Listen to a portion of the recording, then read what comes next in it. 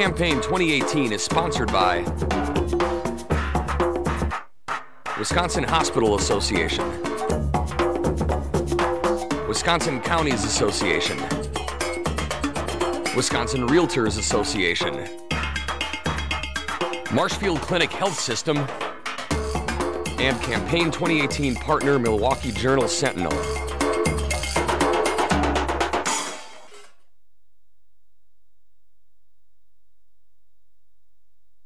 Wisconsin Eye is on the campus of Gateway Technical College in Sturtevant. Paul Nehlen of Delavan is a Republican candidate in the 1st Congressional District. Paul, welcome back to Wisconsin Eye. Good to be here, Steve. Thanks. Um, one of the most important issues nationally is immigration, and I'm intrigued. You gave, your website says you gave $50,000 worth of AR 15s and drones and body armor to two Texas sheriffs. So tell me why you did that and tie it into our national debate over Sure. immigration. Sure. I went down to the border a number of times, and a couple of border sheriffs uh, took me out uh, and showed me the border, showed me what was really going on.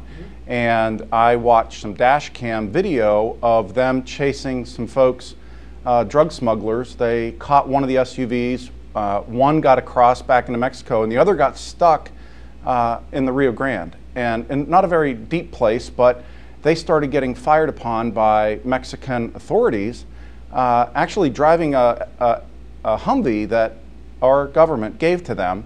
And I saw one of the officers get out just with his sidearm.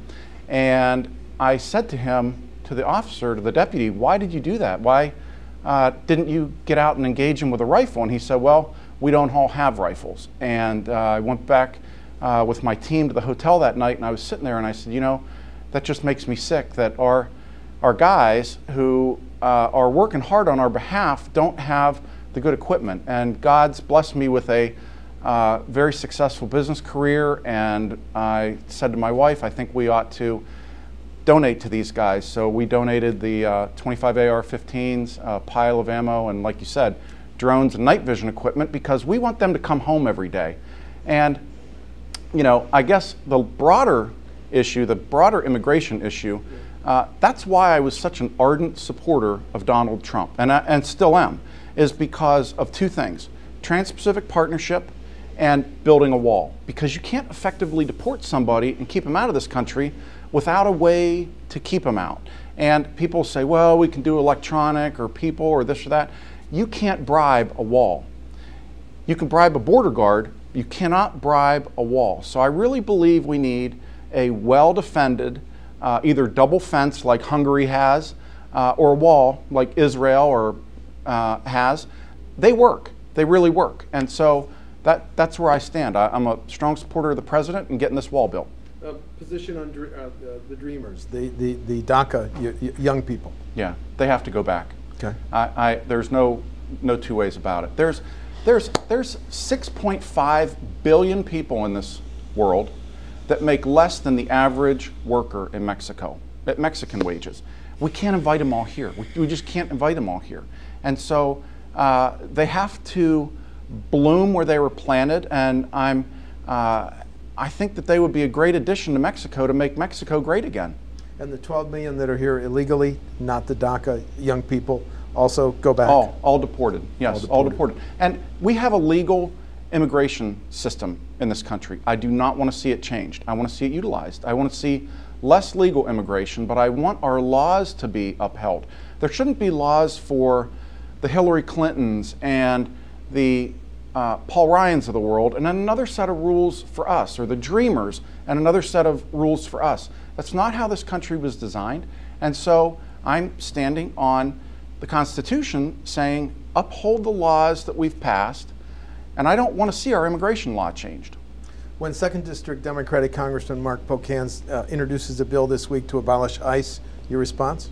I think that's uh, completely wrong. I think that these guys are conflating ICE with Border Patrol, two completely different missions, and I think abolishing ICE is absurd. I would suggest to, to Mark Pocan to unlock his front and back doors and leave them open all night long, every night, because that's what ICE does. They are protection for us. And so if Mark Pocan thinks we should get rid of ICE, he should just unlock his front and back doors and leave them open every day. You mentioned the Trans Pacific Partnership, which the president has pulled us out of, Yeah. which gets us into the debate over tariffs. Do you back his first and second round of tariffs? Because now he's announced an intent to add more tariffs on Chinese goods. Is, I- the, is the president right on tariffs? Absolutely. He's headed in the right direction. He's doing the right thing on tariffs. Look, China has been at war with us for decades now, economic war. And tariffs are the right way to solve this problem. And I'll tell you why. China can't feed itself. China has to buy our food. China can't consume all of their own industrial production. We are their market. So China needs us more than we need China. So tariffs, and until uh, the early part of the 20th century, we didn't, we didn't have an income tax in this country. We supported the government on tariffs and excise taxes. So if our government hadn't grown so large, such a leviathan, it's seven times larger now than when FDR was president, seven times larger than in the 40s. So uh, we, could, we could effectively run a very small government on excise taxes and tariffs, not have an income tax, a national income tax, and do just fine. Candidates in the first CD are taking a position on whether the f- potential development of Foxconn, a few miles from here, is a good investment. Is it?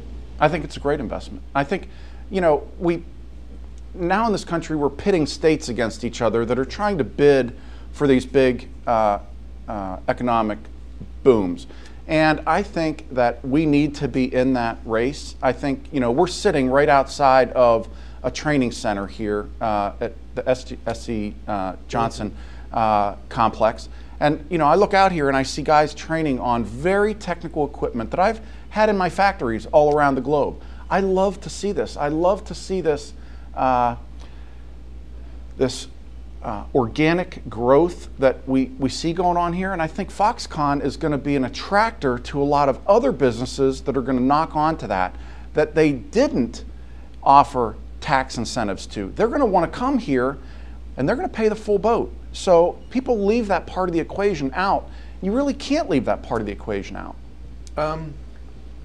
The Trump administration sent Congress a Defense Department budget that would signific- significantly increase spending. I believe take it to 700 700. billion billion a year. You support that increase? Uh, I support the increase. However, I don't want to see our men and women over in Afghanistan and Iraq. I certainly don't want to see us attacking Syria. Um, you know, we've got all sorts of outposts around the globe. Uh, today, just today, the president is uh, sticking it to An- Angela Merkel, uh, Angela Merkel, and he's saying to her, "Look, you didn't even pay for NATO." the, the money you're supposed to spend. And then you're doing deals with Russia. You're doing deals with Russia on gas pipelines. So we've got, we're spending billions of dollars to protect Germany from Russia, and Germany's doing deals with Russia. It's incomprehensible. The president is exactly right to hold her to account and say, look, if you're friends with Russia, what are we protecting you for? Take all of our troops and put them into Poland if, if we need an outpost there.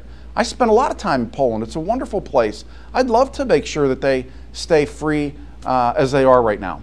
Should we withdraw our troops from Afghanistan? Absolutely. We should put them on the southern border while we're building that wall. The deficit has grown to $21 trillion. How big of a threat is that to our nation? How would you deal with our growing deficit? Well, it's a big it's a big problem for our nation. I think part of the solution is what Trump's doing with the tariffs. I think that's going to reverse it a lot because if we're sending these dollars overseas, we're only getting one turn on the dollar. When we have a manufacturing economy, that dollar has multiple turns. It goes to the manufacturer, who then goes to their sub suppliers, who then goes to their base suppliers. That dollar stays in the country a long time.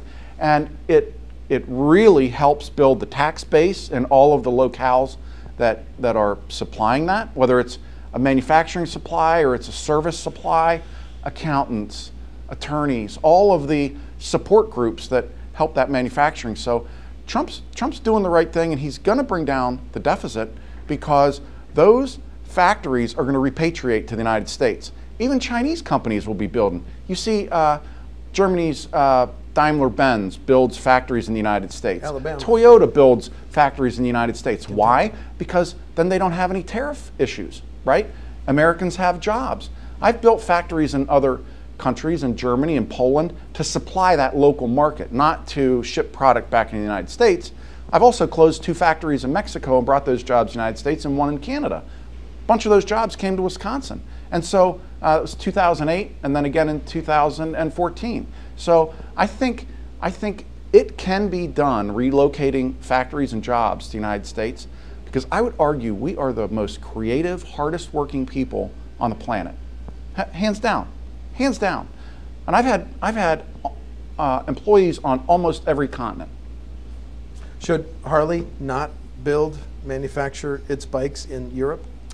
Uh, they're, I don't believe they're building anything in Europe. I believe what they're doing is they built a factory in India and they're going to import bikes from India into Europe. And here's what happened this happened uh, five or six or seven years ago. They started construction on that. And the reason they built that factory in India is because India tariffs bikes from the United States at 100%. But bikes purchased outside from outside the United States, Japan, India, anywhere else, there's a 2.4% tariff on bikes coming into the United States, which is why we see so, so many uh, rice burners here in the United States. And I, and I don't knock on anybody who wants to ride a, a bike like that. I, I happen to ride a Harley. Uh, but they built that factory there and they're shipping American parts into India for assembly.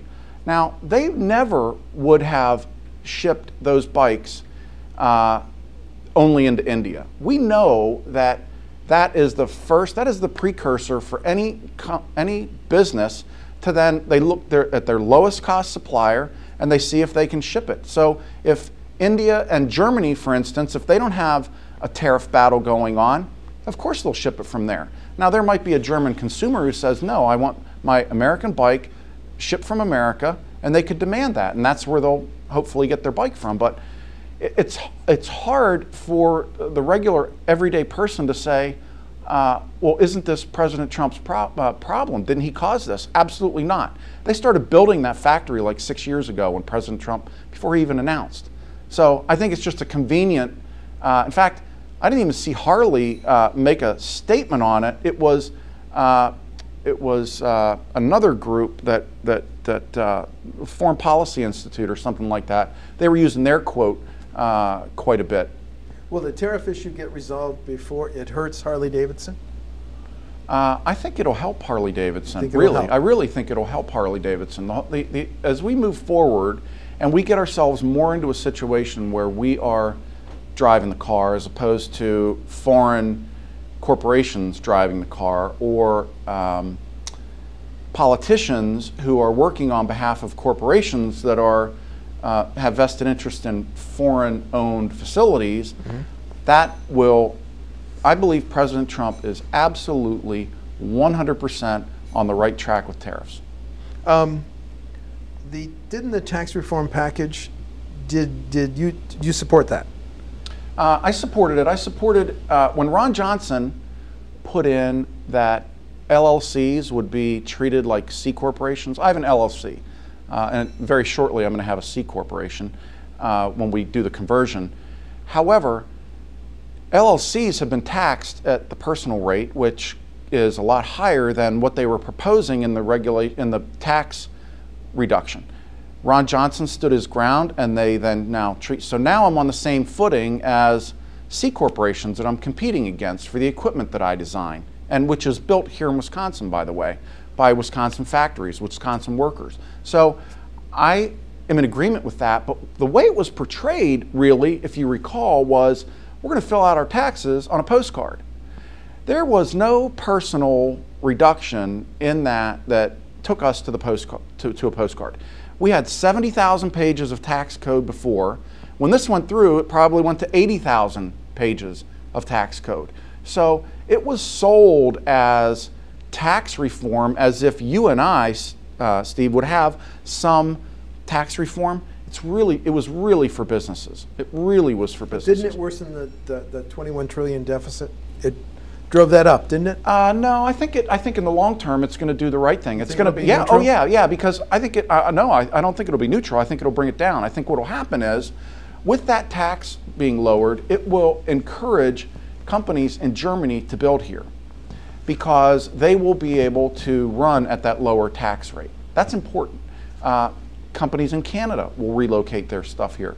If NAFTA gets nuked, which I hope NAFTA gets nuked, and then we do a deal with Canada and we do a deal with Mexico, I think we should have uh, a trade agreement with each of those countries, but it shouldn't be put together.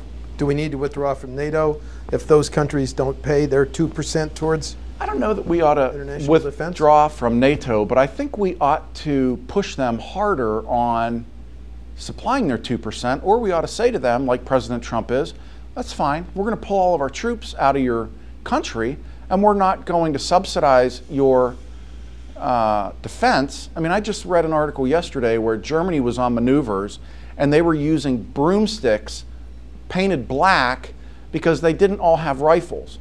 Now, my wife and I gave rifles to the Texas Border Department. We're not giving any rifles to Germany, nor should you through your taxes, right? I don't, I don't think that should happen. Germany's got a responsibility to protect its citizens, just like the United States, and, and we shouldn't be subsidizing it. Mr. Ryan was in office 20 years. You believe that members of the U.S. House should only serve three terms? That's right. Total is six? Why? Yeah. Well, because I think that it was never designed to be a career uh, role. I don't believe that it should be. And we term limit the president.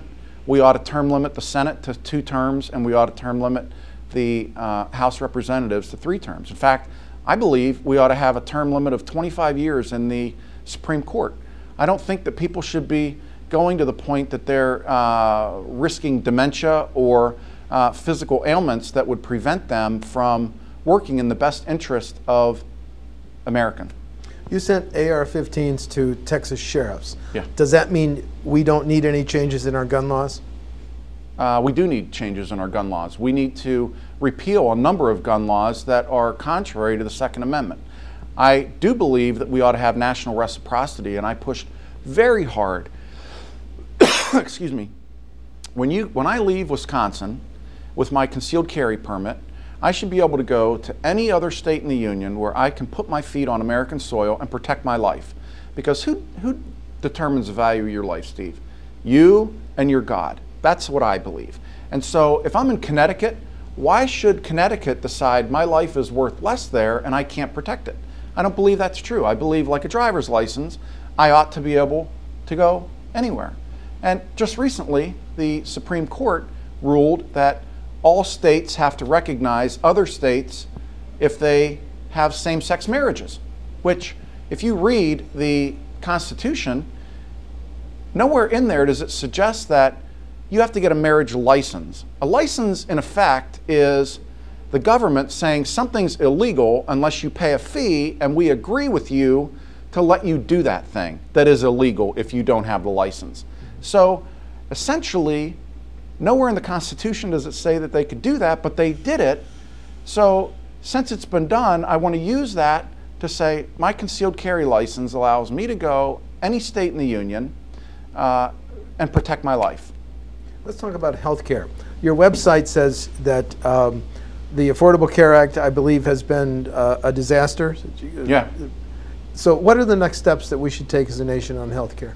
Well, I think first of all, uh, Congress needs to pass a law that says uh, insurance companies can sell any product that they want, that the, that the uh, public will buy, and that the federal government will not get involved in determining what a qualified health care plan is. Because, Steve, will if you want. set basic standards. Yeah, right. I, I think, Steve, if you want to buy insurance for, say, um, cancer and I don't know, uh, diabetes, skin diabetes, yeah, COPD. yeah, and I want to buy it for broken bones and for uh, eczema. I should be able to do that, and we should be able to have cafeteria plans and work with, you know, if there's a market for it, the insurance company should fulfill that. Now, if I don't think that anybody should should go without insurance, right? So if somebody has a pre-existing condition and they're not uh, being given given priority by an insurance company, or basically they're rejected, we already have basically a socialized plan called Medicare right now. Mm-hmm. And if one of us were to fall into a situation where we couldn't be insured, we'd go on Medicare, and if we could pay for some of it, we would just pay it into Medicare. There would be a means test for it, it wouldn't just throw everybody, you know, millionaires onto, uh, like yourself, onto Medicare. Not so, but thank you. yeah. So, but you would be able to pay for your, you would, you would naturally pay for your part of it, but you wouldn't go without insurance. I think, I think it's important that we have the ability also to say, you know what, I'm a young person. I take good care of myself. My family history is we live to 100 years old, and the first 40 or 50 years of our lives, we're never sick. I'm not going to buy insurance. I'm going to risk it. If I break a bone, I'll pay it out of my pocket. This is America. You ought to be able to do that, I believe, in this country. Right now, they're saying, well, we're going to penalize you if you don't buy things. Now, that has been a little bit rescinded with the Obamacare. So I think we ought to uh, get, get in that direction. The international debate, debate over climate change, is it a threat to our world? I do not believe it's a threat to our world. Okay, why? Uh, there's a lot of evidence showing that the uh, thermometers that they use to measure the temperatures, the global mean temperatures, have been moved to areas that are with asphalt and concrete and other types of things, and they've changed the, they've gone back in and adjusted the average mean temperatures upward. So that hockey stick has been dispelled. There's been a number of things that have been debunked. The IPCC uh, studies where they showed that they were doctoring the, the uh, paperwork. Uh, look, we've had ice ages in this country. I can remember back in the 1980s when they were saying there's an ozone hole and we're all going to die from this ozone, and they got rid of CFCs and uh, all of that. Uh, CFCs don't rise in the atmosphere; they're heavier than air. They all go into the ocean. I mean, all I can remember all of that, and so there's constantly in my mind, a way to try to reach into taxpayers' pockets and extract their money, just like these uh, windmills I saw when I pulled in here uh, across the street. They have to be subsidized by the government. Look, I'm all for the government looking at ways to uh, have clean energy. We found one a long time ago. It's called nuclear energy. Nuclear energy is, is uh, very clean. 80, 80% of France runs on nuclear. Uh, until very recently, 50% uh, of Germany ran on nuclear. I think they're still uh, running a lot of their electricity on nuclear. We ought to be running on nuclear in this country, in my estimation. I've run money factories that build equipment for nuclear facilities. So, uh, clean technology and safe if you if you manage it. Latest estimate is that Social Security will be technically bankrupt by 2034. How would you save it? Uh, well, I think Trump's tariffs are going to be a big uh, boon for that. And I also think deporting 12 million illegal aliens who have opportunity to get on the rolls, uh, and, I, and I think the number is much higher. I think the number is probably 30 million, honestly. And so I've seen numbers in the area of if we build a wall and deport the people who are uh, uh, financial drain on the system, $165 billion a year that will go that will stay in the U.S. Treasury. Now, if every year you're sending 165 billion dollars to illegal aliens, uh, when you could be sending it to citizens who earn money and put it into that pool, you've got a huge swing there. So I think that's the solution. Did you support the policy, even though it was an executive order reversed it, separating children and their parents who had crossed the border illegally? Yeah, I don't think they should have uh, been allowed to come in at all in, in the first place. I mean, for them to come in and then decide, uh, well, we're going to tell you how it ought to be that we're arrested, uh, that, that children and parents are separated. Try going into any other country and see how it works for you. You, you Americans, I, I've, I've lived all over the world and I've worked all over the world. You don't break other countries' laws because their laws they tell you at the State Department. You look, it, it, it, you read it in your in your passport. It says uh, this isn't like America. When you go to another country, don't act like uh, you're under the same laws because you're not. And so you really have to be cognizant. And for people to break our laws by coming into our country and then telling us we're not treating them correctly, they have no right to um, to tell us that. In my uh, opinion, and in the Supreme Court's opinion, uh, they have no right to due process. None. Uh, they, they are um, in our country illegally and they ought to be sent back immediately. You ran two years ago Yeah. And how did the announcement by Mr. Ryan that he was not going to seek reelection change the dynamics of your campaign this time around? Uh, well, it didn't really change it a tremendous amount. I've been an American First candidate since I ran in 2016. I ran because I wanted American workers to have a better opportunity at, at securing a job and having safety in their life. And Donald Trump, uh, President Trump ticked both those boxes for me, and more, and more. But those were the two key issues.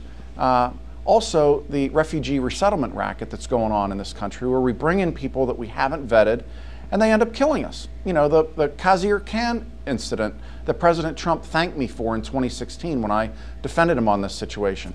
I mean, President Trump made a comment, and this uh, Khan gentleman took it and said, Well, my son died defending this country. Well, that doesn't mean that there aren't people coming into this country of an ideolo- ideology that want to kill us because they are. It's been it's demonstrable. Uh, so I'm I'm absolutely in in line with President Trump's moves on stopping illegal immigration, uh, following the rule of law. You separate kids from their parents. We take care of both of them. We're not starving them. We're not beating them. We're not waterboarding them. We're separating them because we we're trying to understand who we have here. We have a right to know who's coming into our country. Final question. Sure. Five way primary on August 14th. Yeah. Do you want to highlight differences between you and the other four candidates? Well, uh, sure. I'm the only candidate who has had uh, employees and made payroll here in Wisconsin. Uh, we've got a candidate from Virginia who's only very recently moved here, Nick Polce.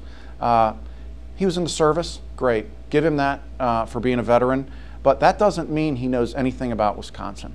Um, Brian Silverspoons, Bryan Steil's, his grandfather was the Wisconsin uh, first lottery commissioner, and his dad was on the team that won the $749 million for their law firm and the tobacco settlement. I mean, he's obviously very wealthy, very politically connected. His claim to fame is he picked Paul Ryan up at the airport and drove him to his house. I mean, to say we have elections in Wisconsin and you see the Wisconsin GOP attacking me when I was a very valuable member of the volunteer staff and, and a donor. I was a diamond sponsor at Burlington Fall Fest. They are of the belief that it's they ought to have selections in Wisconsin, not elections. And I don't I don't buy into that at all. Jeremy Ryan and I had a debate yesterday, last night, uh, in Delavan, and it was very civil. And we had you know 40 people show up for that. We had about as many people that show up for a GOP event, and and the GOP won't invite Jeremy or I. And I think it's really despicable of them. And we went out and we got the required number of signatures. Uh, and there will be another debate on July 20th in Janesville at the Basics. And I hope anybody who sees this will come out and, and uh, participate. And there'll be four candidates there. Uh, Kevin Steen has agreed to come along. Uh, he's an applications engineer somewhere here, I think in Burlington. I don't know a whole lot about him. Uh, seems like a, a, a good young man. Uh, but I don't think he's run big businesses or had a lot of responsibility, which I guess doesn't preclude him from running for Congress. But uh, I don't think he's got as much breadth of experience. Uh, there's an independent who's running, who's a doctor. You know, God bless him. He's trying to do good things for humanity. Um, again, I, I feel like I've got the most experience and will fight hard for Wisconsin residents and Wisconsin workers, and I've demonstrated that uh, since I moved here in 2008. Thank you. Paul Nehlen of Delavan is a Republican candidate in the 1st Congressional District. The primary is August 14th. Paul, thanks for talking to Wisconsin Eye. God bless you, Steve. Good seeing you again. Thank you very much. Campaign 2018 is sponsored by Wisconsin Hospital Association, Wisconsin Counties Association, Wisconsin Realtors Association, Marshfield Clinic Health System, and Campaign 2018 partner Milwaukee Journal Sentinel.